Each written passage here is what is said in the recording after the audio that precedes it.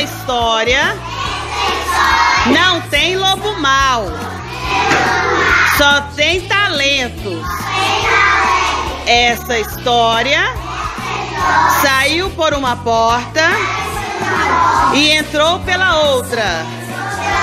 E quem souber, que conte outra.